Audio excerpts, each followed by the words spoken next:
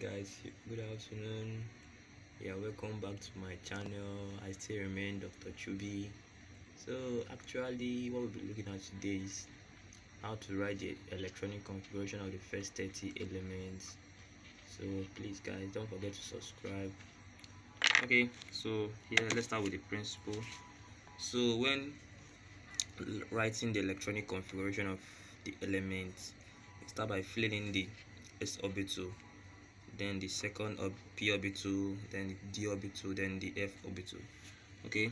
First of all this electronic configuration goes with Aufbau's principle. So electrons enter into orbitals in order of increasing energy. So s orbital is of lower energy compared to, to p orbital. P orbital is of lower energy compared to d orbital. D orbital is of lower energy compared to f orbital. So let's start with the electronic configuration of those elements here. So let's start with hydrogen. Remember hydrogen is atomic number is one. That means has only one electron. So one is one. That is it. Helium has one s2 so s orbit s subshell can only accommodate two electrons. So okay let's start with lithium. 1s2 2s1 so this is it. So next one is 1s2 2s2 so remember after filling the s sub orbital the next one is p. Okay? So here's s2 then 2p1 also if you calculate if you calculate the number of electrons on each subshell it should give you the number of it should give you the number of proton maybe the atomic number this 2 plus 1 is 3 2 plus 2 is 4 2 plus 2 plus 1 is 5 okay let's check on carbon.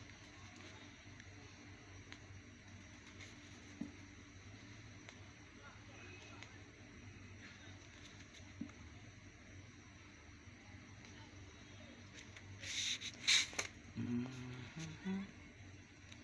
nitrogen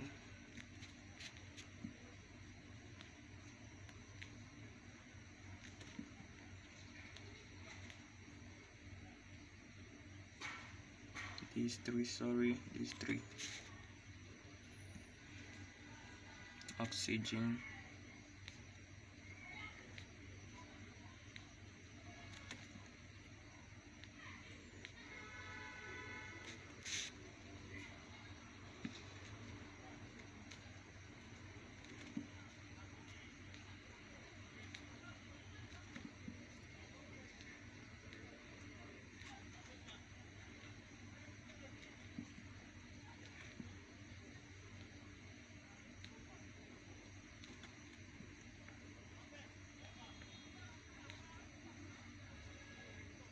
so the p subshell can only accommodate six electrons. So this one is filled now. We are done with p orbital now.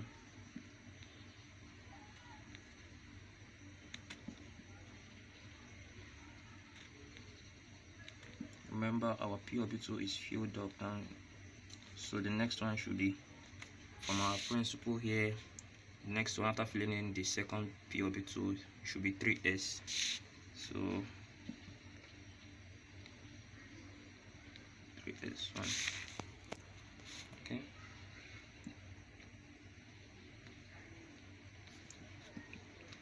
Magnesium.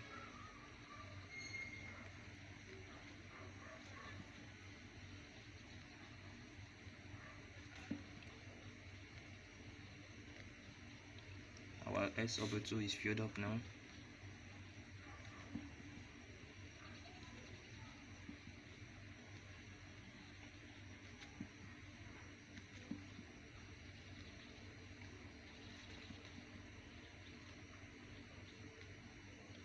so the next one is 3p maybe 2 1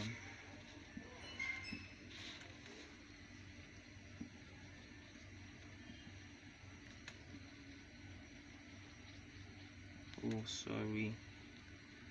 This s2 s2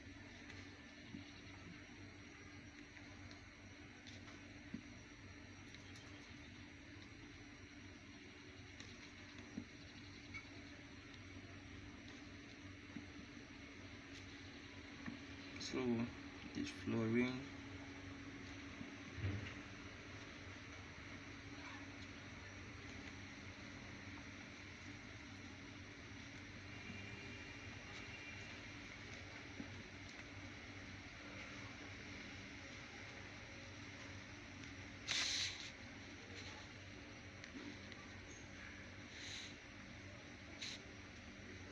Okay. So for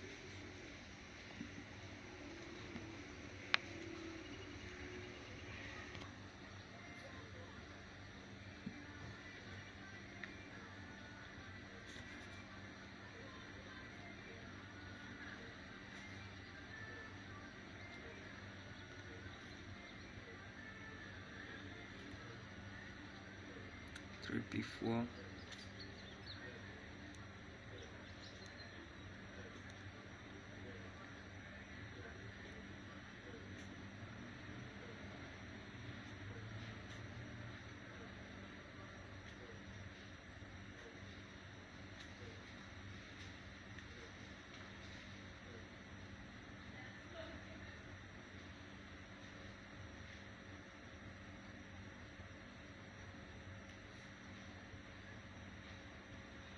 Gusto niyo?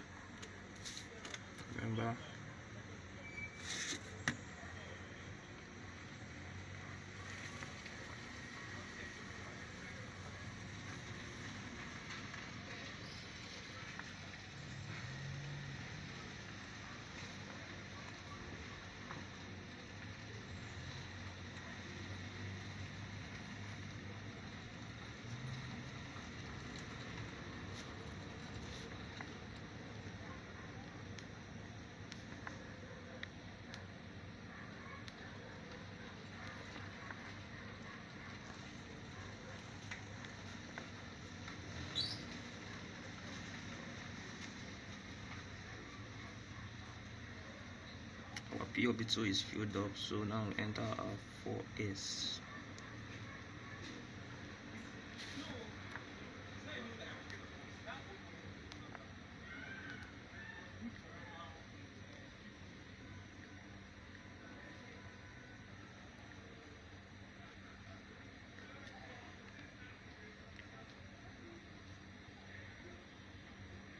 sorry this three for s2 so guys we are done with the first 20 elements.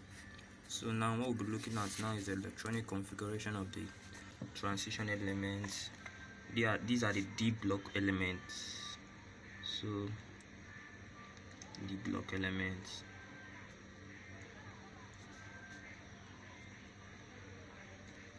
So let's start again. Remember fill your s of it first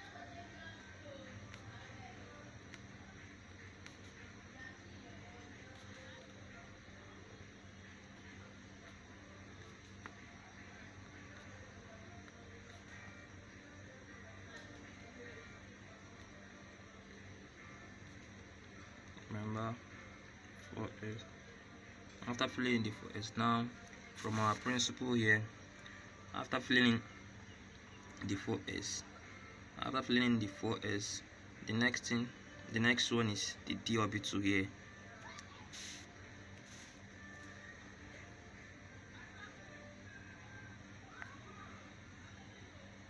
Three one. Okay, let's continue. We are in the transition elements now. The D block elements.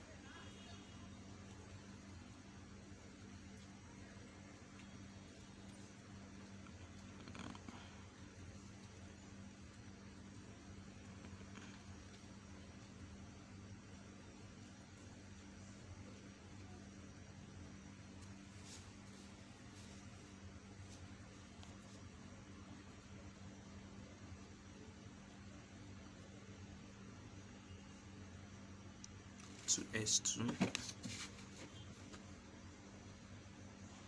then 2P6 3S2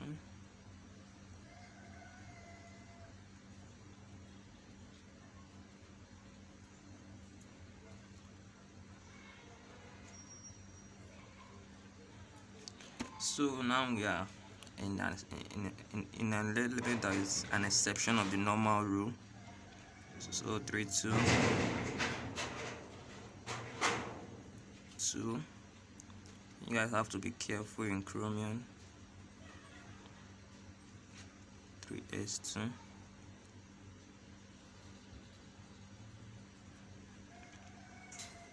4s so here is the part.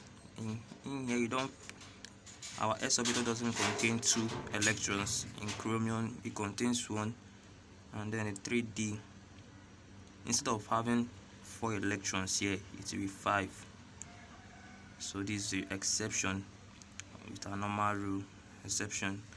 Okay we continue with manganese. You guys have to be careful with chromium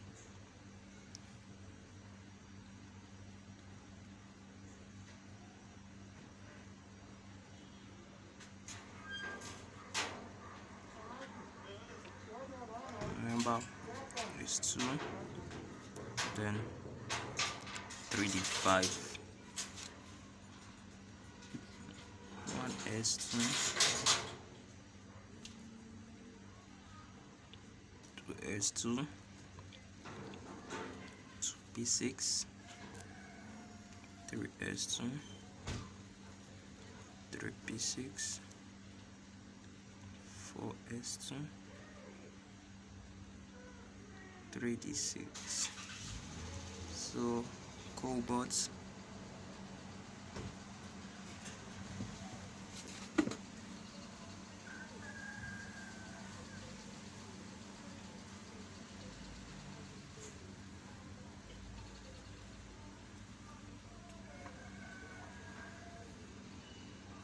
P6 for 6 one s2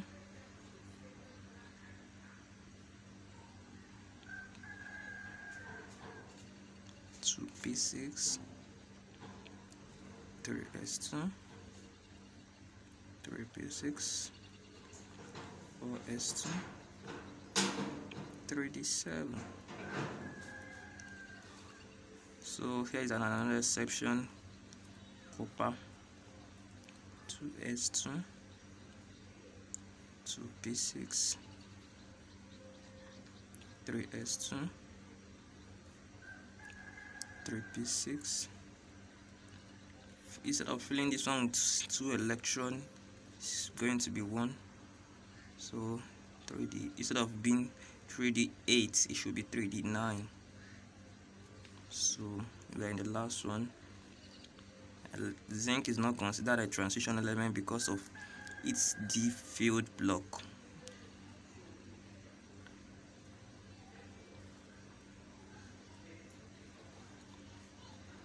three S two three P six four S two three D ten.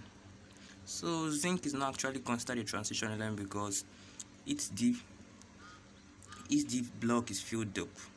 So it's not considered as a eh, transition element.